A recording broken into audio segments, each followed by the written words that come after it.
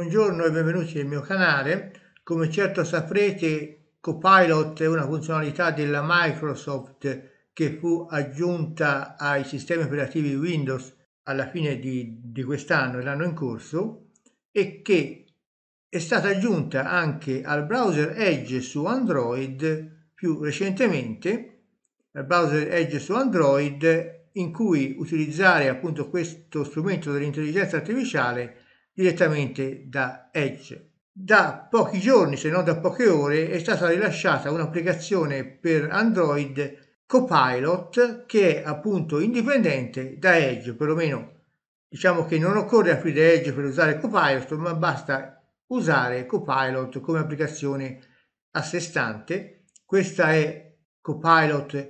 Per cercarla non bisogna cercare Copilot perché sennò magari ci trovate veramente un copilota per eh, navigare, quindi dovete cercare proprio Microsoft Copilot su Android, questo comunque è l'indirizzo che vi metterò nella descrizione sotto il player del video. Dopo aver installato Microsoft Copilot si può utilizzare e verrà automaticamente utilizzato l'account che abbiamo per la Microsoft. Se noi siamo già loggati con la Microsoft per esempio su Edge o su qualche altro tra funzione della Microsoft automaticamente con lo stesso account potremo accedere anche a Copilot. E adesso passiamo a Android per vedere come funziona appunto Copilot. C'è da dire che al momento non esiste questa applicazione per iOS, cioè per iPhone e iPad.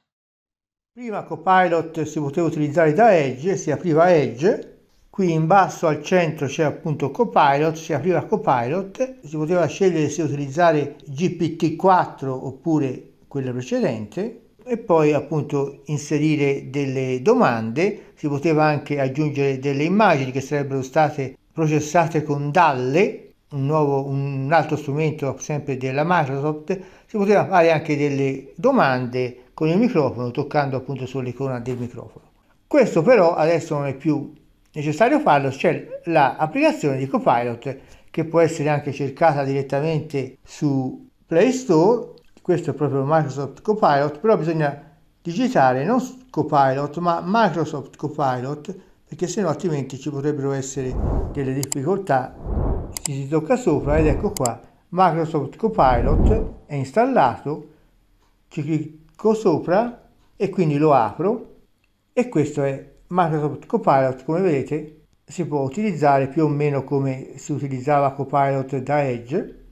Qui ci sono dei suggerimenti, scrivi una canzone che celebri la bellezza della terra, dove devo viaggiare se ho allergia ai pollini, crea una canzone pop su un cavalluccio marino di nome Bubbles, eccetera, eccetera. Possiamo anche personalizzare l'aspetto di Copilot. Questo è l'account, come vedete è stato rilevato automaticamente si può cambiare il tema passando a quello chiaro, quello scuro, quello automatico, diciamo automatico, si può scegliere l'area geografica e la lingua, le autorizzazioni anche queste possono essere gestite. La cosa interessante è quella privacy. Nella privacy possiamo anzitutto cancellare i dati dell'app. Se si cancella i dati dell'app si può per esempio eliminare la cronologia per eliminare tutte le vecchie chat i cookie e i dati del sito o addirittura la cache. Io direi che i cookie e i dati del sito non, è bene non eliminarli, però la cache e la cronologia possiamo eliminarli quando ci pare. Si torna alla home page, qui in basso per iniziare un nuovo argomento si tocca su questa icona in basso a sinistra, per invece utilizzare una immagine o scattare un'immagine si utilizza questa icona della macchina fotografica, mentre l'icona del microfono serve per appunto fare una domanda a voce. C'è un esempio che cosa è l'astrobiologia? Ha scritto male. Vediamo cosa risponde. Ricerca in corso. L'astrobiologia è una scienza che studia l'origine, l'evoluzione e la distribuzione delle forme di vita nell'universo, cercando di scoprire se esistono forme di vita nate fuori dal pianeta Terra. L'astrobiologia coinvolge, eccetera, eccetera. Qui una domanda piuttosto Ecco, come vedete l'ha presa da Wikipedia, chiaramente si poteva direttamente chiedere a Wikipedia, però chiaramente qui non si fanno domande solo di questo genere, si possono fare anche domande più complesse. Eh, dunque, fammi una esegesi de il dolori del giovane Werther. Vediamo un po'. Questo chiaramente è più complicato trovarlo su Wikipedia.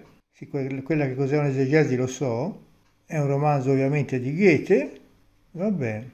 Qui ci sono anche i link per andare a controllare meglio le fonti da cui ha preso la risposta. Andiamo su non rispondere più.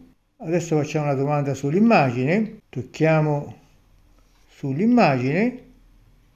Ecco qua, spostiamoci. Andiamo su search. Ecco qua, vediamo se riesce a capire cos'è questo. Tocchiamo. Ecco fatto la, la beccata in piena. Che cos'è? Facciamo meglio questi sono i contenuti correlati, in effetti ha preso con precisione. Facciamo un'altra prova, vediamo se riesce a capire cos'è questa qua. Qui si può naturalmente anche spostare. In effetti una friggitrice ad aria, l'ha presa in pieno, proprio, proprio questa. Ok, quindi fa anche delle ricerche, si può anche naturalmente caricare un'immagine dalla nostra galleria o anche come vedete anche da Google Photo. Cerchiamo un'immagine da, dalla galleria. Mettiamo questa immagine qua selezioniamo questo elemento. Quindi aggiungiamolo. Invece di search andiamo su chat e aggiungiamo appunto questa immagine qua l'immagine viene caricata e adesso mettiamo aggiungi un bulldozer all'immagine vediamo se ci riesce andiamo su invia ecco fatto vediamo se riesce a aggiungere un bulldozer a questa immagine generazione di risposte cercherò di creare quella immagine per te ho usato l'intelligenza artificiale per generare un'immagine ecco fatto immagine in generazione vediamo un po' se riesce a generare qualcosa di interessante. Questa è la foto come vedete è una foto molto invernale. E questo è il risultato, non è un capolavoro, queste sono le quattro immagini dell'intelligenza artificiale, beh insomma non è che proprio sia proprio quello che mi aspettavo, comunque poi aggiungere qua un albero, cambia il colore del bulldozer in rosso, beh questo si può fare, vediamo. Eh, queste sono più, più carine, diciamo così. Facciamo un ultimo test. Andiamo sempre sulle immagini. Vediamo se riesce a fare questo. Converti questa immagine in bianco e nero e nero in una immagine a colori. Vediamo. Cercherò di fare quello che mi hai chiesto. Ok. Come vedete c'è 5 di 30 vuol dire che per ogni conversazione si possono generare fino a 30 risposte massimo. Chiaramente poi si può anche cambiare argomento andare qui in basso. Beh chiaramente il risultato è pessimo. Diciamo la verità questa è l'immagine in bianco e nero. L'immagine a colori non ha niente a che vedere con l'immagine in bianco e nero iniziale. Comunque questo Copilot come applicazione a sé stante della Microsoft in, installabile su Android è una funzionalità magari che che è molto da, da, migliorare ma che è utile averla nello smartphone per poterlo utilizzare all'occorrenza. E questo è tutto, alla prossima volta.